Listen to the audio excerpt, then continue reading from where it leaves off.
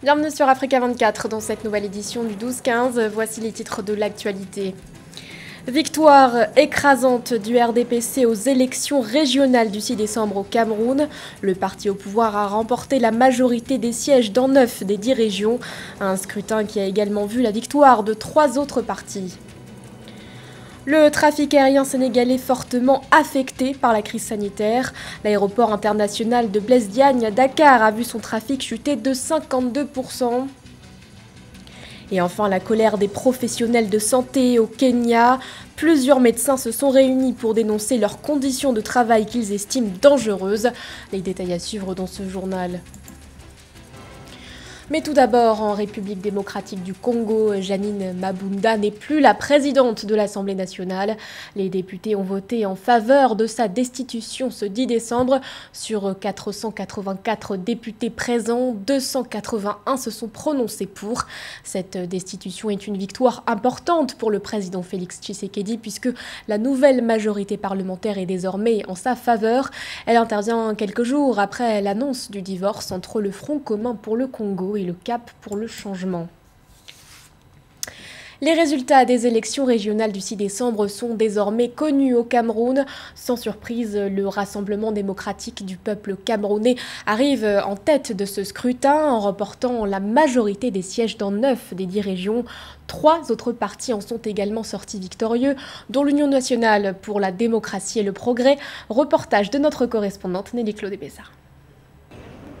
À l'issue des élections du 6 décembre 2020, Elections Cameroun rend sa copie. Le RDPC contrôle 9 des 10 conseils régionaux du pays, tandis que l'UNDP s'arroge la région de la Damawa. Par ailleurs, l'UDC et le FSNC ont respectivement gagné 17 et 2 sièges au sein d'un conseil régionaux de l'Ouest et du Nord, où le RDPC reste cependant majoritaire. Cette victoire du parti au pouvoir est de l'avis de certains acteurs de la scène politique camerounaise un frein au processus démocratique dans le pays. Le fait qu'on ait maintenu que quatre partis politiques pour le conseil régional, c'est très grave pour notre démocratie. La nouvelle répartition des partis politiques au sein du conseil régional ne peut pas impacter le développement parce que le conseil régional est presque RDPciste, c'est ce qu'on pourrait dire. Les autres sont très très minoritaires et si on parle de développement, nous devons voir ce qui se passe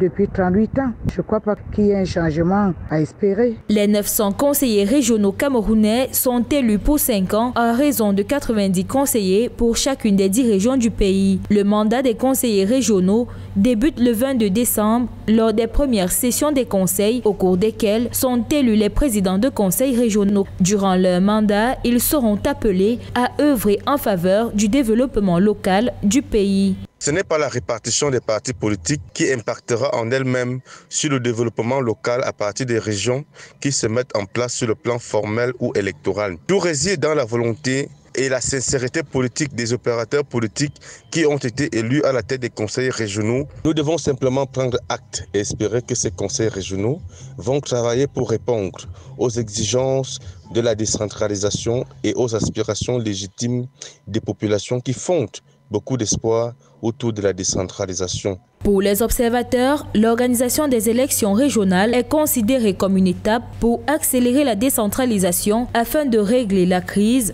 séparatiste qui sévit dans les deux régions anglophones du Cameroun, le nord-ouest et le sud-ouest. L'actualité, c'est également ce nouvel accord humanitaire conclu entre les Nations Unies et l'Éthiopie. Un nouvel accord signé ce 9 décembre et qui consiste à la mise en place de missions d'évaluation conjointe liées aux besoins humanitaires, indique le secrétaire général de l'ONU, Antonio Guterres. Le diplomate précise que ce deuxième accord vise à garantir qu'il y ait, je cite, un total accès à l'ensemble du territoire et une pleine capacité à débuter des opérations humanitaires. À noter que l'ONU et l'Éthiopie avaient déjà conclu un premier accord le 2 décembre dernier, autorisant un accès sans restriction au Tigré, accord qui s'était finalement soldé par un échec. Au Sénégal, le trafic aérien a été fortement impacté par la pandémie de coronavirus. Entre janvier et novembre 2020, le trafic de l'aéroport international Blaise Diagne à Dakar a chuté de 52%. Rappelons qu'en 2019, le nombre de passagers reçus par la plateforme se chiffrait autour de 2,5 millions. Les précisions de Samantha Saberou Sabobanga.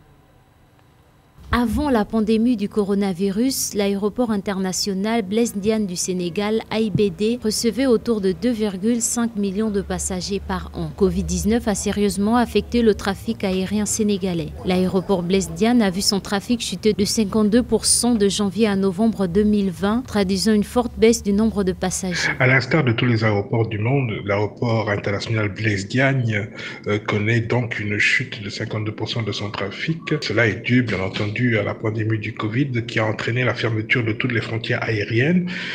Le problème, c'est que nous passons d'une première vague à une deuxième vague, d'une deuxième vague à une troisième vague.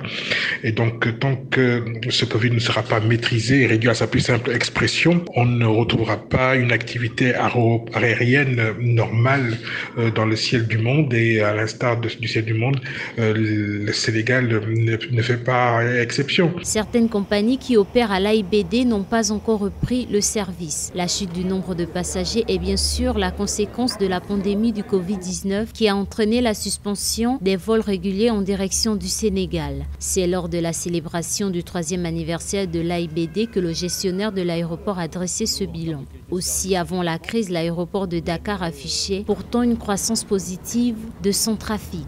Euh, quand on voit qu'au niveau mondial, l'IATA avait prévu une chute de 66% du trafic aérien, on voit que le Sénégal, bon, est quasiment dans la lignée parce que bon, 52%, 66%, euh, ce n'est pas très très éloigné. Euh, on voit que pour cette année, euh, l'aéroport a réussi quand même à maintenir avec des efforts des uns et des autres à pouvoir faire face à toutes ces charges. Qu'en sera-t-il de l'année 2021 On ne sait pas. Est-ce que les gens vont pouvoir reprendre les avions? Et même si on reprend les vols, dans quelles conditions vont-ils être pris? Euh, Les conditions sanitaires vont être drastiques? Euh, on ne voyagera peut-être moins parce que on s'est rendu compte que pendant toute cette année-là, il n'y a, a pas eu de voyage d'affaires. Donc, euh, les activités ont pu être maintenues à travers les vidéoconférences. Est-ce que ces voyages d'affaires vont continuer? Est-ce qu'on voyagera toujours autant qu'on a voyagé avant? Est-ce qu'on voyagera pour son plaisir? En ce moment, on est en plein milieu de la pandémie. On va en sortir, ça c'est sûr. Mais quand? Peut-être dans un an, peut-être dans deux ans. Euh, certains disent que le trafic aérien ne reviendra pas avant 2025. Malgré l'incertitude qui règne dans le secteur aérien sénégalais, le gestionnaire aéroportuaire reste optimiste. Afin de maintenir la qualité des services, il est prévu l'amélioration continue de la fluidité dans l'aérogare, l'ouverture d'un autre point de restauration rapide, d'un autre salon VIP dont la zone arrivée et enfin de la construction d'une centrale solaire. La mise en service du pipeline Niger-Bénin se dessine. À cet effet, la Chambre africaine de l'énergie était au Niger du 23 au 27 novembre pour une visite de travail. Le pipeline, qui devrait être opérationnel d'ici janvier 2022, représente un enjeu majeur pour le Niger en termes de développement socio-économique. Plus de précisions dans ce sujet de Lorita Simbou. Le gouvernement du Niger s'est engagé dans la réalisation du pipeline Niger-Bénin afin d'accroître l'accès à l'électricité de sa population, majoritairement jeune de 16 à 80% d'ici 2035. Les zones rurales du Niger qui ont des niveaux d'accès à l'électricité inférieurs à 5% seront priorisées. Une agence pour la promotion de l'électrification rurale a récemment été créée dans le pays à cet effet. Le Niger s'est engagé dans une voie que nous soutenons avec ferveur pour augmenter considérablement l'accès à une électricité fiable et abordable pour sa jeune population. Dans un communiqué, la Chambre africaine de l'énergie a affirmé que la mise en service du pipeline Niger-Bénin, long de 1982 km, devrait permettre de faire passer la production actuelle de 20 000 barils par jour à 120 000 barils par jour à l'horizon 2024 et permettre au Niger de financer en partie sur fonds propres son plan d'électrification. L'aboutissement de cet oléoduc devrait avoir des retombées économiques considérables, essentiellement en termes de création d'emplois pour les jeunes et la fiscalité. Pour l'emploi des jeunes, son exploitation devrait générer des milliers d'emplois pour cette cohorte qui constitue près de 60% de la population et dont l'insertion sur le marché de travail demeure l'une des préoccupations les plus fondamentales pour les pouvoirs publics. Concernant la fiscalité, ces projets devraient rapporter environ 45% des recettes fiscales, soit quelques 400 milliards de francs CFA. Une bonne nouvelle sans doute pour un pays qui fait de la mobilisation des ressources internes sa priorité. Ces recettes fiscales, à titre de rappel, sont primordiales pour le développement durable les travaux du pipeline Niger-Benin avaient officiellement été lancés le 17 septembre 2019 par le président Issoufou Mahamadou. Long de 1982 km, dont 1298 km en territoire nigérien et 684 km au Bénin, le pipeline international Niger-Benin va permettre au Niger d'exporter son pétrole à l'international. Le délai de livraison de cette infrastructure est prévu pour la fin d'année 2022. Un plan conjoint pour soutenir l'agriculture, c'est l'initiative lancée le 8 décembre par le Fonds international pour le développement agricole et le gouvernement mozambicain, dénommé Programme de développement des chaînes de valeurs agricoles. Ce plan bénéficiera à 900 000 petits producteurs, parmi les secteurs ciblés, le manioc, la volaille ou encore l'horticulture. Joël Marie Ballot. Au Mozambique, 900 000 producteurs vont bénéficier d'un accompagnement du gouvernement dans le programme de développement des chaînes de valeur agricoles Procava. Ce projet est un impératif face aux conséquences de la pandémie de Covid-19 et les changements climatiques sur les personnes les plus vulnérables du pays. Ce programme vient au bon moment parce que les effets du changement climatique dans l'agriculture sont manifestes. La combinaison de la sécheresse, des inondations ainsi que du coronavirus ont aggravé la fragilité du pays. Les petits producteurs ont besoin de notre aide maintenant.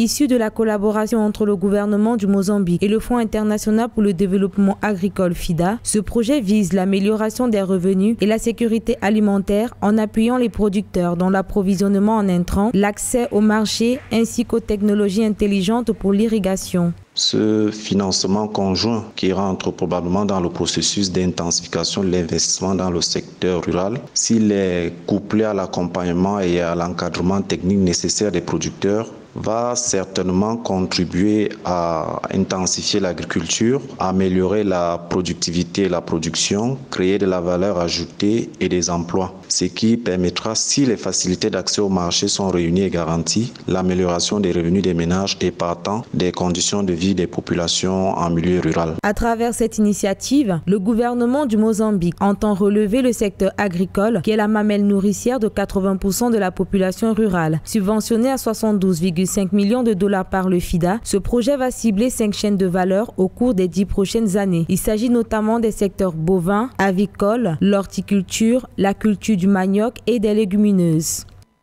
La colère gronde dans les rangs des professionnels de santé au Kenya. Plusieurs médecins se sont réunis ce mercredi 9 décembre devant le ministère de la Santé à Nairobi pour dénoncer les conditions de travail qu'ils jugent dangereuses dans les hôpitaux publics. Depuis le début de la pandémie, plus de 2000 membres du personnel de santé ont contracté le coronavirus. Des dizaines en sont morts. Gladys Mwamba. Sur la ligne de front dans la lutte contre la pandémie de Covid-19, les agents de santé kényans réclament plus de protection dans l'exercice de leurs fonctions. Infirmières, agents cliniques, médecins, des dizaines de professionnels de la santé sont décédés après avoir contracté le coronavirus en s'occupant de patients depuis mars 2020. Parmi eux, Stéphane Mogussou, jeune praticien d'une vingtaine d'années, décédé sans assurance maladie, avec plusieurs mois d'arriérés de salaire. La Covid ne fait pas de discrimination. Nous pensions que cela aurait une fin complètement différente, mais ce n'est pas le cas et la raison pour laquelle ça fait si mal est que Mogusu était l'un d'entre nous. Ça aurait pu être lui, ça aurait pu être moi, ça aurait pu être elle. Les ravages de la pandémie de Covid-19 dessinent un avenir incertain pour les étudiants en médecine, aujourd'hui peu sereins sur leur lendemain. Pourtant, ce pays de la Corne de l'Afrique en a grandement besoin. Environ 7000 médecins sont actuellement recensés pour une population de près de 50 millions d'habitants. Nos médecins sont sous-payés et ne sont pas payés par le gouvernement des comtés. La santé ne peut pas être confiée au gouvernement des comtés. La santé est une question nationale. Elle doit être ramenée au gouvernement national. Il ne peut pas continuer à fonctionner comme ça parce que les médecins ont été laissés et nous sommes bloqués. Et nous sommes tout seuls. Mais c'est nous qui prenons soin de ce pays. Nous sommes les soignants et les protecteurs de ce pays. Pourtant, nous sommes traités comme des ordures et ce n'est pas juste. Et c'est décevant. Le gouvernement kényan a annoncé début décembre 2020 le décaissement de 6,3 milliards de shillings à la Caisse nationale d'assurance hospitalisation pour fournir un régime médical complet à tous les fonctionnaires, y compris aux travailleurs de la santé. Cette assurance couvrira l'intégralité des factures de Covid si un professionnel de la santé contracte le virus, ainsi que les frais d'inhumation en cas de décès. Ce journal a été réalisé par l'ensemble de la rédaction. Merci de votre fidélité. L'actualité continue sur Africa 24.